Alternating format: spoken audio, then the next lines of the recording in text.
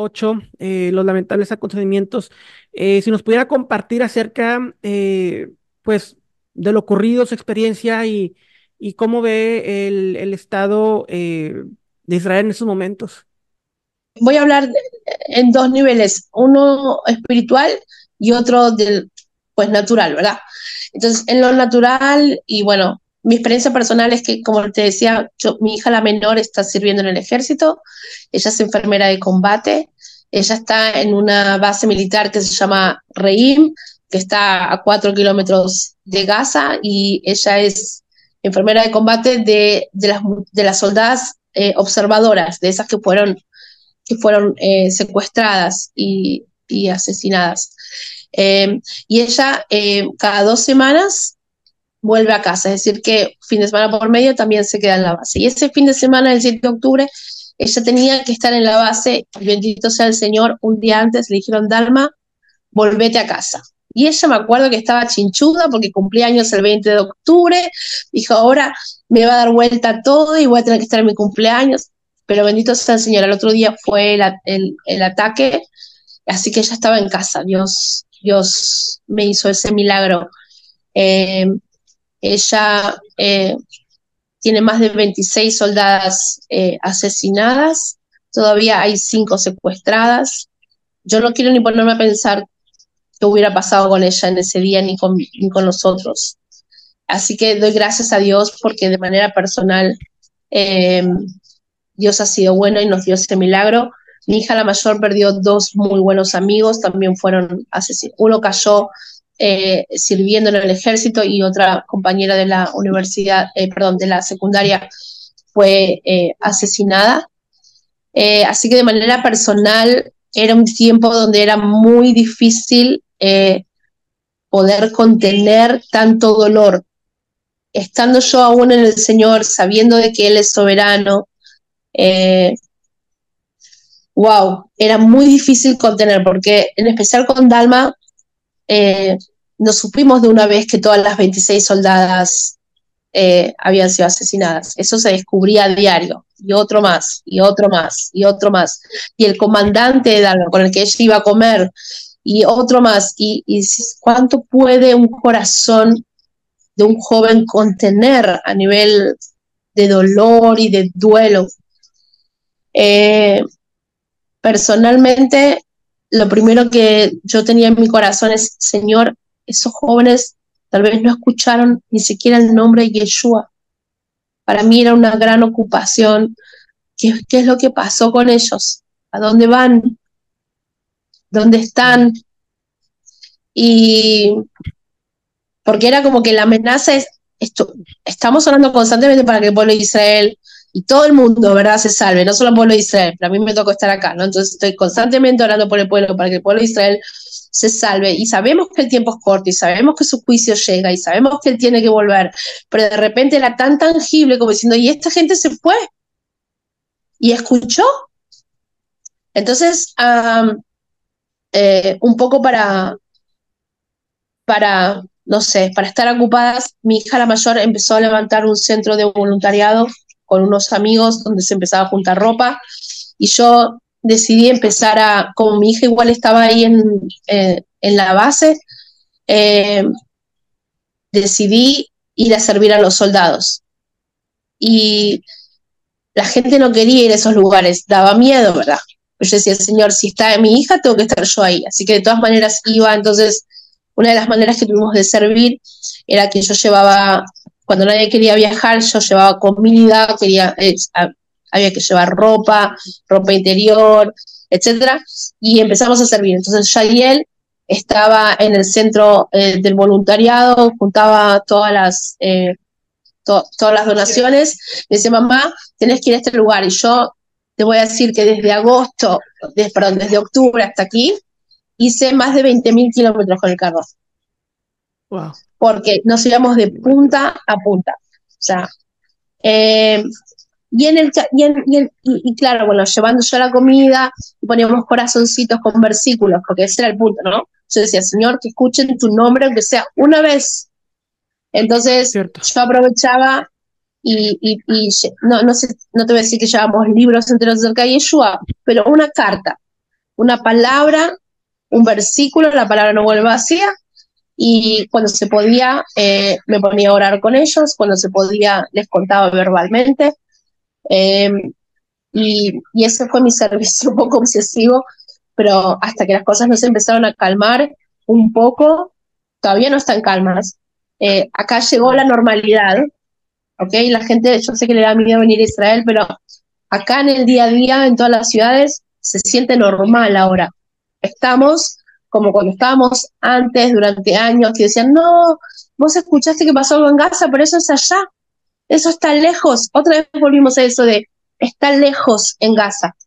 Yo personalmente, como viste ayer, sigo eh, intentando estar cerca de los soldados porque ya no puede estar lejos de mí eso, porque ya eso se acercó. Y, nosotros quedamos muy impresionados. Eso es a nivel natural. A nivel espiritual, eh, a nivel espiritual el Señor habló desde, desde muchos ángulos, desde muchos, muchos ángulos y ejercitó mucho nuestra fe. ¿eh? Porque no es lo mismo decir, sabemos que Dios es soberano, a decir Dios es soberano y vos escuchás de muchas personas, porque son tantos los muertos, los heridos y las atrocidades que hicieron, que cuando vos escuchás de tanta gente cerca tuyo, impacta tu espíritu, impacta tu corazón. Y claro, sí, el Señor está en el trono, Señor está en el trono, el Señor está en el trono, pero tuvo que, tuvo que aumentar mi fe. Esto provocó que mi fe tuvo que aumentar, porque si no hubiera aumentado, se hubiera enfriado. Bendito sea el Señor, aumentó. Eh, y el Señor hablaba mucho. Y una de las cosas que él marcó, en especial ahora todavía en Purim, eh, que lo remarcó eh, bastante. cuando leímos de vuelta el libro de Esther, y el Señor marcó tres cosas. Una, Amalek. La guerra contra Amalek es de generación en generación. Él se levanta de generación en generación. Eso está escrito, eso es bíblico. Así que se, se, volvió, se volvió a levantar. Y Amán, en el libro de Esther, venía de eh, Agageo, que era Amalecita. Así que Amán representaba a Amalek. Dos, dice la palabra, creo que es en el, en el capítulo 4, versículo 14, donde dice que Amán se la agarró con Mardoqueo y con el pueblo de Mardoqueo. Y el Señor me paró ahí. Dijo, Débora, no, no dice el pueblo judío, dice el pueblo de Mardoqueo. Y Mardoqueo en ese momento representa, representaba a Yeshua, es Satanás frente a Yeshua. Entonces es Satanás frente al pueblo de Yeshua, porque eso es lo que estaba marcando la palabra, es el pueblo Mardoqueo. Entonces, esto a nivel espiritual eh, es simplemente la continuidad de lo que de lo que tiene que continuar hasta que él regrese. Es, es la maldad contra Dios. Eh, y, me recordaba mucho eso y, y, eso se vio mucho porque la gente acá estaba como en shock. Acá en Israel, eh, la derecha y la izquierda política no son como el resto del mundo, pero digamos que la gente de izquierda son más los de eh, a favor de Palestina y los palestinos, ellos amaban más a los palestinos que los propios israelíes. Y la mayoría de las personas que estaban en los kibbutzim de la línea de la frontera eran de estas personas que realmente ellos en su creencia creían que realmente si ellos iban a mostrar eh, eh, kindness, amabilidad, iban, iban a ser buenos, y ellos los traían a trabajar, traían a los palestinos a trabajar en los kibbutzim, y a muchos de ellos los acompañaban al hospital y, les proveían de cosas, porque ¿cómo ellos tenían tanta información? Porque venían a trabajar en los kibbutzim. La información no la juntaron desde lejos. Entonces, es porque personas, pero, pero esas personas, esas personas que vienen ahí en la frontera, las que fueron atacadas, eran de izquierda en su mayoría. Claro, la mayoría de las personas que estaban en esos kibbutzim es lo que nosotros llamamos la izquierda acá en Israel. No son los colonos de Judea y Samaria. En Judea y Samaria tenemos colonos judíos religiosos. No de los de blanco y negro, pero más religiosos. Pero los que estaban ahí son de esos que decían, ¿sabes? Querían ser más misericordiosos que Dios. Y decían, no, si nosotros les vamos a dar cosas buenas, nos van a devolver con bondad. Entonces, lo que pasó lo choqueó de tal manera como diciendo, pero yo te di todo, no, ¿dónde está la reciprocidad? Y de repente dijeron, entendimos de que existe el mal, existe el mal. Y hasta el día de hoy hay muchas personas que su, su sistema de creencia o su sistema de valores de creencia ha sido, eh, ¿cómo se dice? Sacudido. Eh, sacudido, gracias. Ha sido sacudido. ¿Existe el mal?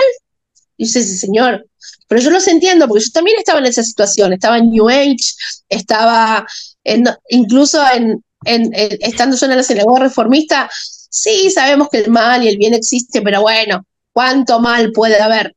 No existe el mal. Porque la lucha no es, no es contra carne y sangre, nosotros lo sabemos, porque el Señor nos adiestra bien. pero eso es lo que pasó desde el 7 de octubre a nivel espiritual. Hubo un, una sacudida, una sacudida donde las personas empiezan a preguntarse cosas, a cuestionarse cosas. Muchos de ellos fueron a Dios, muchos de ellos fueron para el otro lado, porque el enemigo lamentablemente me deja ver todo, para bien y para mal, Dios me deja ver en el espíritu todas estas cosas. El enemigo, ¿qué es lo que hace Amalek? Amalek dice la palabra en hebreo, que cuando el pueblo de Israel estaba cansado y agobiado, en hebreo dice Amalek Isdanevlo.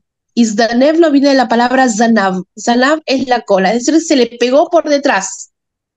Se le pegó por detrás y, y lo enfrió, tendría que traer todo, pero básicamente eso es lo que hace Amalek. Amalek siempre viene por detrás, te pone algo por delante, una situación X, una dificultad o una prueba, como lo quieran llamar, pero que en realidad nosotros sabemos que eso siempre es superable porque Dios es más grande. Pero el punto siempre está en lo que Él trae por detrás, por la cola, mientras vos estás ocupado en el problema, ¿qué es lo que Él está sembrando en vos? Él está sembrando desconfianza, está sembrando, está sembrando miedo, está sembrando eh, inseguridad, ¿ok? Porque la situación física al final siempre se va a solucionar. Dios es más grande.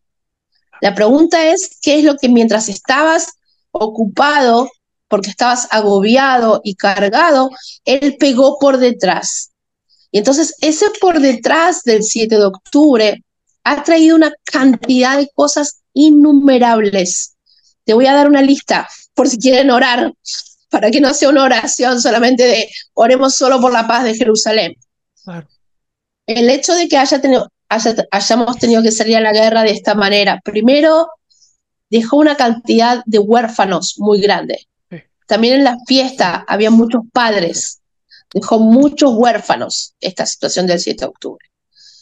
Eh, dejó muchas viudas, dejó problemas en matrimonios porque eh, hay tantos cabezas de familia que han salido por tanto tiempo a la guerra, cuatro, cinco, seis meses ya, que provoca diferentes situaciones a nivel familiar. Una de ellas es el espíritu de Jezabel viene sobre la mujer, la mujer se siente fuerte porque se pudo arreglar sin el esposo mientras estaba en el ejército, cuando el esposo vuelve hay descomunicación.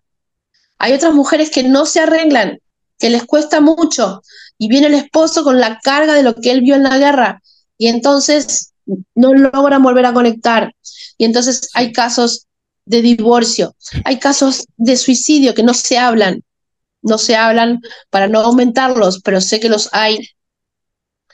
Eh, guay, hay, hay un montón de cosas. Eh, ni que hablar de la ansiedad, ataques de pánico.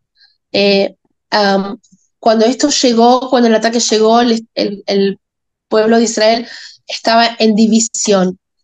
Por un tiempo de dos meses, podemos decir que otra vez estábamos súper unidos, pero hoy esa división vuelve por diferentes razones, a punto de que algunas personas ah, dicen, bueno, ya basta con la familia de los secuestrados, ya no quiero escuchar más, no aguanto más y entonces ellos salen a clamar por sus seres queridos los días sábados por la noche. La policía, eh, em, ¿cómo se? Los reprende eh, violentamente y entonces empiezan las discusiones, si se lo merece, si no se lo merece, etcétera. Entonces otra vez viene la división.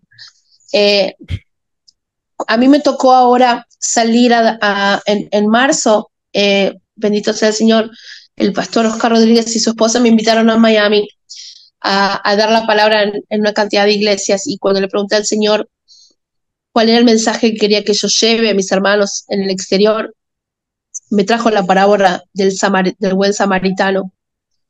Y para resumir, te voy a decir que de repente yo, el Señor me decía, ese, esa, ese herido, esa persona que estaba volviendo de Jerusalén, esa persona herida, golpeada, eh, asaltada, ese es mi pueblo ahora. Así está el pueblo de Israel.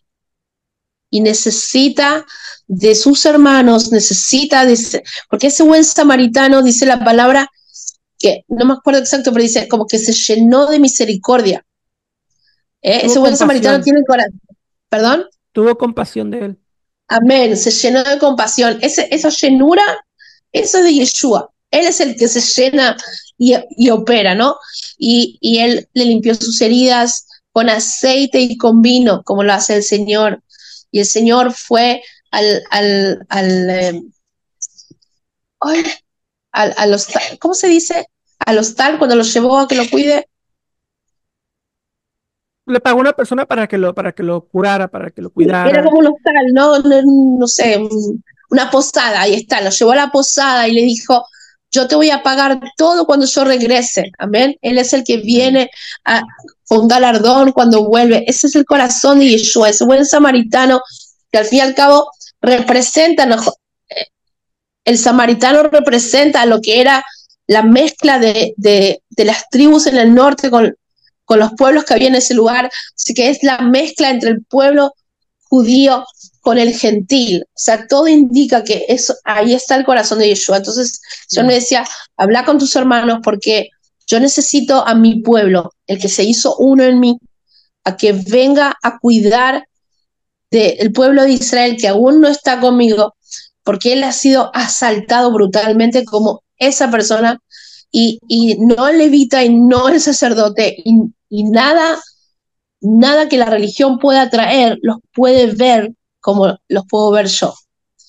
Eh, entonces el pueblo de Israel ahora necesita, y digo esto porque el pueblo de Israel necesita que eh, mis hermanos en la fe vengan a traer la palabra.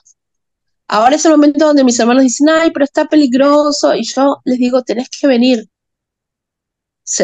¿Vos, ¿Vos te haces responsable? Y digo, no, vos vas a orar, pero tenés que ser sincero porque sé que Dios, si Dios te va a decir que sí, Él te va a cuidar. Y es necesario que vengas y que estés dando una palabra. Y bendito sea el Señor, yo veo que hay organizaciones como las que vio mi hija hace dos días atrás, como otra que vimos eh, hace unas, el día 3 de mayo que estaba haciendo adoración en, en el centro de Tel Aviv. El Señor está moviendo a su remanente. Es un remanente que está entendido en este tiempo y quiere ser ese buen samaritano que quiere estar donde está el corazón del Padre y el corazón del Padre está acá ahora. Esta es la verdad está con todos, pero este es un tiempo donde ahora que llegó la plenitud de los gentiles, tiene que empezar el trabajo y, y no es que termina uno y empieza el otro, ¿no? No es que ya terminó la plenitud de los gentiles, pero digamos que está bien alcanzada y aún va a terminar la obra ahí, pero ya la obra y la, y la acentuación eh, de, de, de la Yeshua del pueblo de Israel está latente y los tiempos están acelerados. No te puedo explicar cómo se sienten aceleradas las cosas acá en Israel. Todos los días tienes que estar así. Eh, y definitivamente este es el tiempo para que, para que nos hagamos uno en el Señor de una manera humilde, eh, obediente.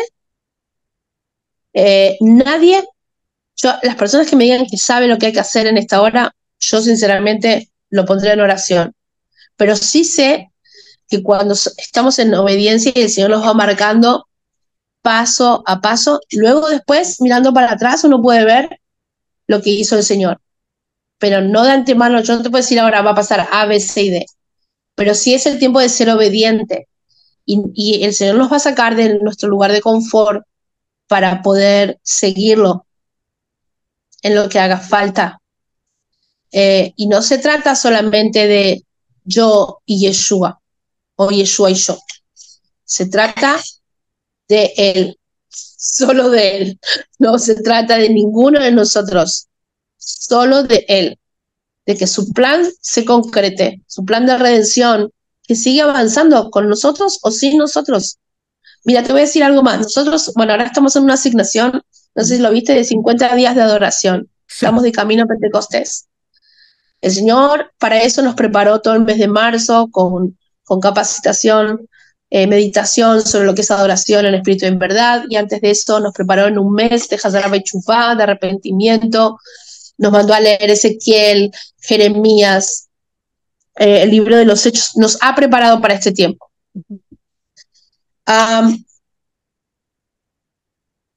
en el camino vamos viendo cosas en Israel que no las veríamos en otro momento. Por ejemplo, ayer anunciaron que cancelaron la parada gay en Tel Aviv.